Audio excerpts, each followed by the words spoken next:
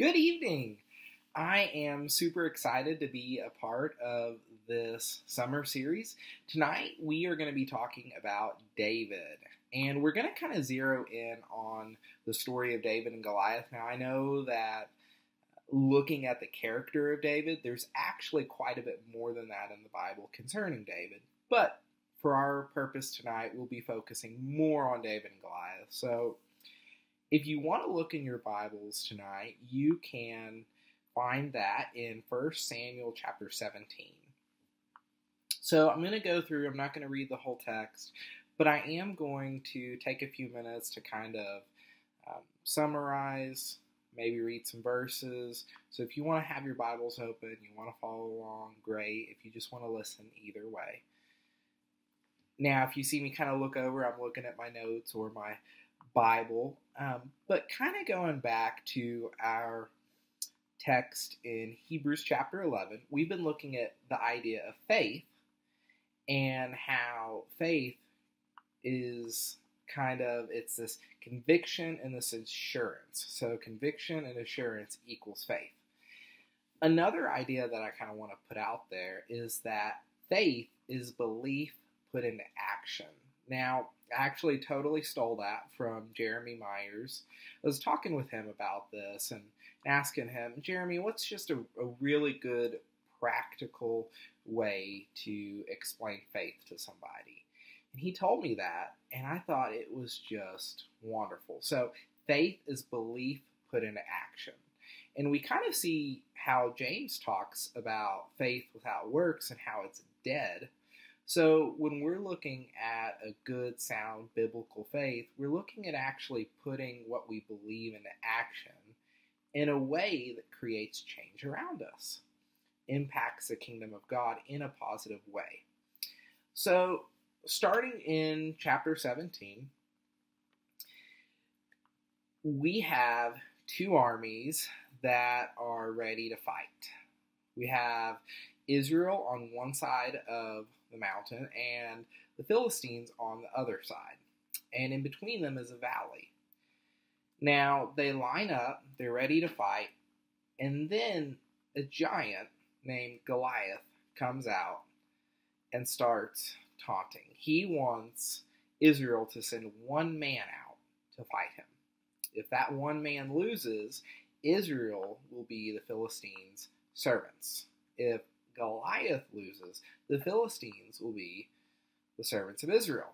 So we have this uh, right off the bat, this confrontation.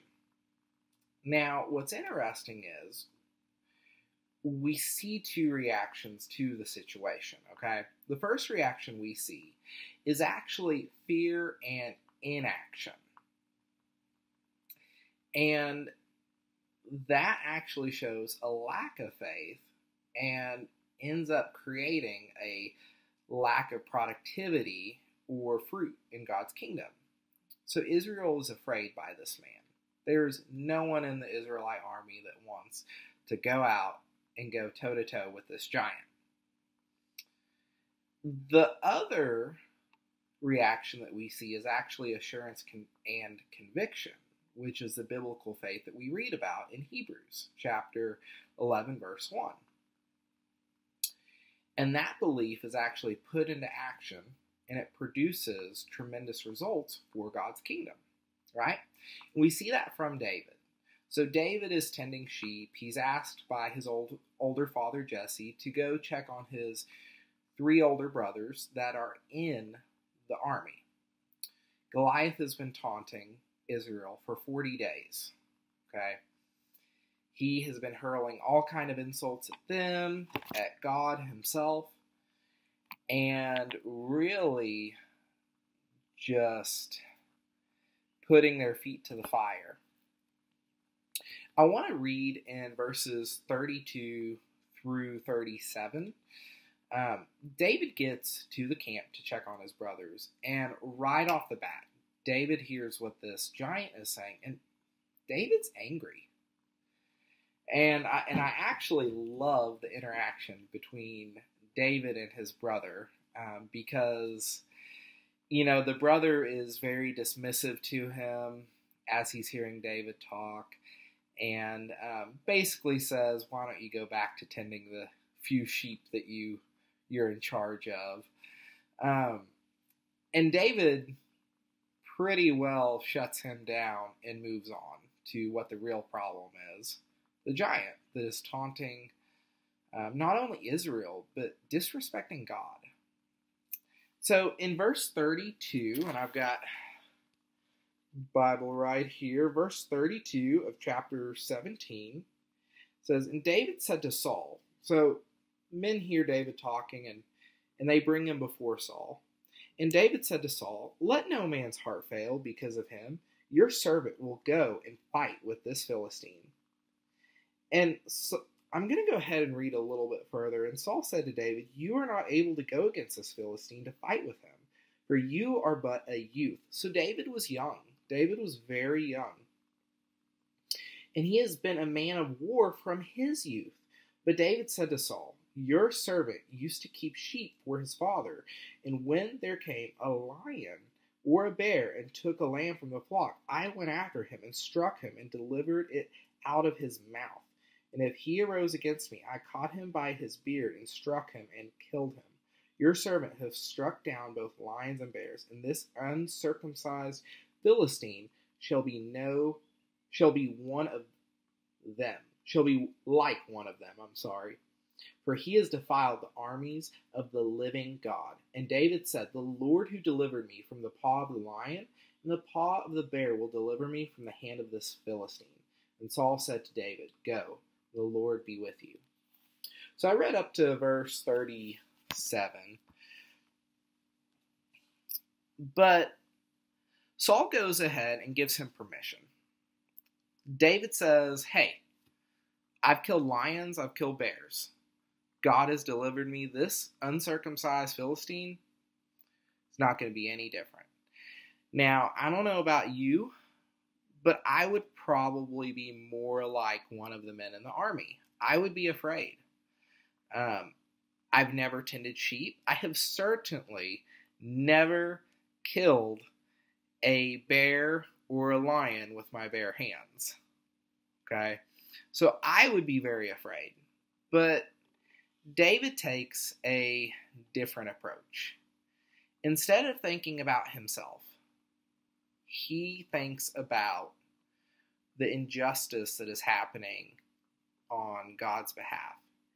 And he has faith in what God can do, not only for him, but for the situation at hand, for his own name. So, God is in control, and David knows this, and David has faith in that, and that leads him to action. Now, in verse 39, um, verse 39, then it says, And David strapped his sword over his armor, and he tried in vain to go, for he had not tested them. Then David said to Saul, I cannot go with these, for I have not tested them. So David put them off. So it's talking about Saul's armor. So Saul tries to give him his armor, his weapons, and David says, Listen, I haven't tested these. I, I don't.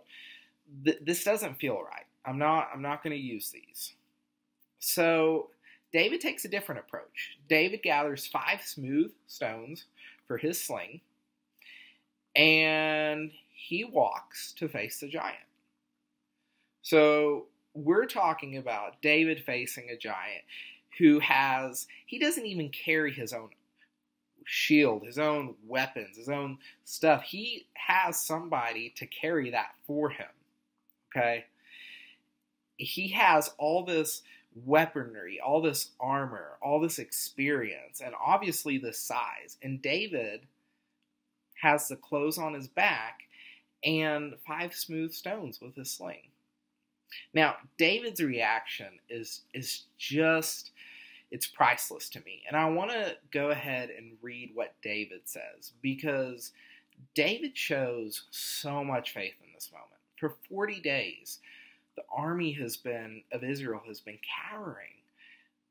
But David in this moment really shows true faith, standing before someone who it seems would almost certainly kill him.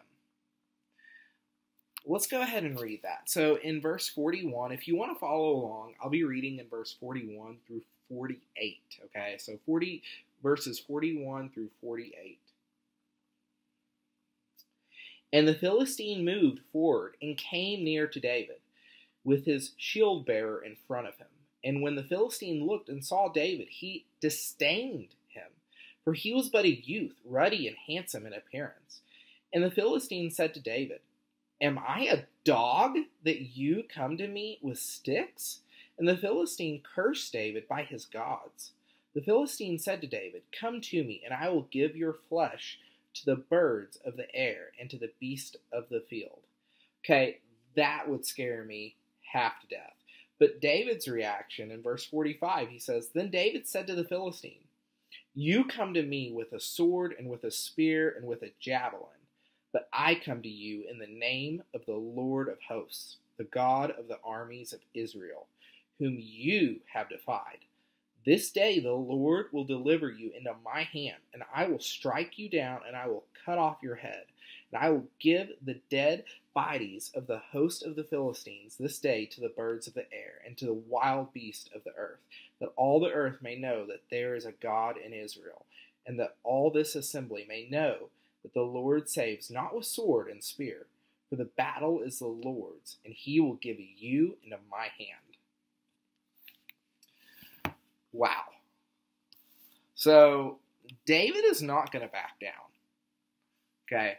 So we know what happens. David strikes him in the head with a stone. He falls down. David cuts his head off. And the Philistines are shaken. And Israel chases after them. And the battle is won.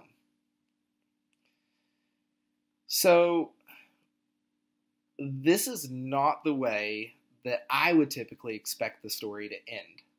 But the thing is, God uses the simple to show how great He is, right?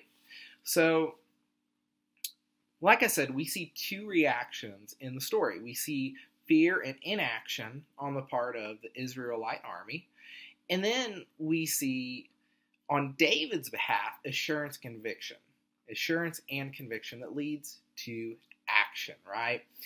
And it actually results in a giant win for the, no pun intended, for the army of Israel. So, kind of getting into our own lives and applying this story, we all have spiritual giants in our lives. And what I want to ask is are we meeting those faithful are we meeting those spiritual giants in a faithful way? Or are we more like the Israelite army and are we meeting them in more of an unfaithful way? More of a more of a way that is based on fear right? So notice David wasn't confident in himself he was confident in God and, and in what God could do through him in order to bring glory to the one true God. So it can be really easy as Christians to simply stay silent or be complicit instead of creating change, the needed change around us, and making the world look more like what God intended it to be. So God doesn't call us to be silent. Now, that doesn't mean that we can be rude or belligerent. Doesn't mean that we have to look down on other people. It's, it's not that at all. God hasn't asked us to lash out on Facebook or act in an unloving way. In fact, it's quite the opposite. In Galatians 6 1, I would like to go ahead and read that. It says, Brothers, if anyone is caught in any transgression, you who are spiritual should restore him in a spirit of gentleness. Keep watch on yourself, lest you too be tempted. So it's important to always take a stand like David, but to do it in a spirit of love and gentleness. We aren't supposed to look like the world. Now, David had tools for the job. And kind of getting practical, I want to think about what are our tools today. So David had stones, he had a sling, he had different tools that he used to meet the job. Okay. Um, today we have the Bible, we have prayer, we have fellowship with each other. Now I know our fellowship is kind of a complicated thing right now with the current circumstances, but there are a lot of great ways that we can still fellowship with one another and be safe. You know, uh, I have had so many people reach out to me either virtually or drop something off on my doorstep, or whether it's stopping by the office to have a cup of coffee with Mike. I mean, you name it. Um, there's a lot of ways that we as Christians can um, still fellowship in safe ways. So there's a lot of tools that we had, we have, but also David didn't just have tools for the job. He had faith in the Creator who allowed him to do the job, right? You could also think about the fact that David's tools, while they seemed inadequate and small, they got the job done. You know, God gives us very simple tools that we can use to face our spiritual giants. Lastly, I think it's important to notice that while people on this list, and I'm referring to the chapter 11 of Hebrews, the Hall of Fame of Faith, think about people like Abraham and David and Samson. And there's a lot of people on the list who had amazing faith, but they also had parts in their lives where they might have been faithless. They had times when they struggled, right? One of my favorite people in the Bible, even though he's not on this list, is Peter. And he's a really good example of how he struggled with faith at times, but also excelled in faith at times. And and eventually he kept working until he had a lifestyle that reflected the faith that God calls us to have.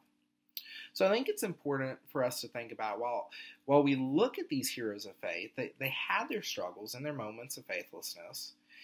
And I think that's important because sometimes it can be easy for us to look at them and think, wow, these people are so faithful, these people are so good that we can't relate to them. We can't relate to David facing a giant. And certainly I've never been in that situation and never will.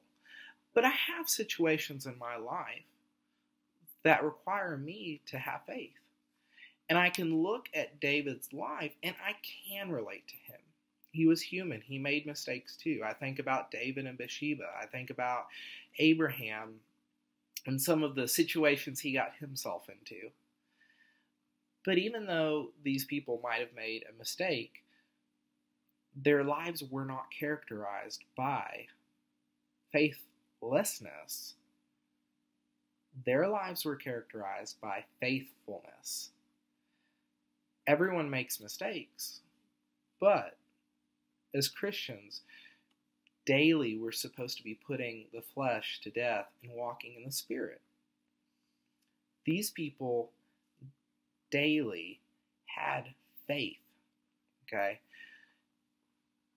Our daily living should be characterized by faith that cultivates actual fruit for God. We need to be people of assurance and conviction who take action, who stand up to our own spiritual giants. Remember, faith is belief put into action. So, my challenge when we're looking at the story of David and Goliath, and when we're thinking about our own personal walk of faith, my challenge would be to let's be people of faith, people of action. God has given us many practical tools to face our spiritual giants and create change around us. So let's use them. Let's put this year's theme into action and make this world look more like heaven. We all have spiritual giants. We all struggle. But as citizens of God's kingdom, we have to take our faith, our belief, and we have to put it in action. And we have to try our best to change the world around us in a way that reflects the qualities of God. We need to make earth look more like heaven. I have really enjoyed being with you tonight. I have a verse that I would really like to read as we close. It's from Philippians. So if you have your Bible, you want to turn over there. It's Philippians chapter 3. And it's going to be verses 8 through 14. And, and um, this is Paul talking about his walk of faith. I think it's important for us to have the same mentality. So, starting in verse 8, let's start reading. Indeed, I count everything as loss because of the surpassing worth of knowing Christ Jesus my Lord. For his sake, I have suffered the loss of all things and count them as rubbish, in order that I may gain Christ and be found in him, not having a righteousness of my own that comes from the law, but that which comes through faith in Christ the righteousness from God that depends on faith, that I may know him and the power of his resurrection, and may share his sufferings, becoming like him in his death, that by any means possible I may attain the resurrection from the dead. Not that I have already attained this or am already perfect, but I press on to make it my own, because Christ Jesus has made me his own. Brothers, I do not consider that I have made it my own, but one thing I do forgetting what lies behind me and straining forward to what lies ahead. I press on toward the goal for the prize of the upward call of God in Christ Jesus. Have a great week, guys. Stay safe.